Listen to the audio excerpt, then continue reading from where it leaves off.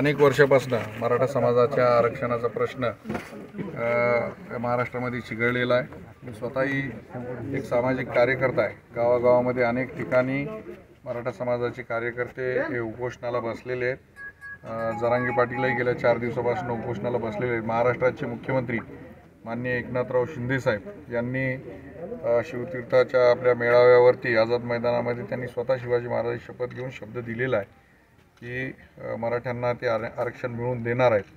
परंतु ज्या पद्धतीने गावागावामध्ये आंदोलन चालू आहे अनेक ठिकाणी राजकीय पदाधिकाऱ्यांच्या कार्यकर्त्यांच्या गाड्या फोडल्या जात आहेत गाड्या अडवल्या जात आहेत. माझी मराठा समाजातल्या कार्यकर्त्यांना विनंती आहे की आरक्षण हे मिळालं पाहिजे. त्यासाठी गावातल्या कार्यकर्त्यांनी गावात आंदोलन करावं. जे काही जिल्ह्याचे असतील त्यांनी जिल्ह्याच्या ठिकाणावर करावं. आम्ही लोकसभेचे खासदार आहोत. दिल्लीमध्ये यापूर्वी सर्व खासदारांची मी बैठक बोलवली होती. तेवीस खासदार याच्यामध्ये सहभागी झालेले होते. आणि दिल्लीमध्ये मी स्वतः लोकसभा अध्यक्षांना भेटून हा राजीनामा देणार आहे. जेणेकरून देशाचं जे लक्ष आहे हे या प्रश्नाकडे वेधल्या गेलं पाहिजे आणि मराठा समाजाला आरक्षण मिळालं पाहिजे.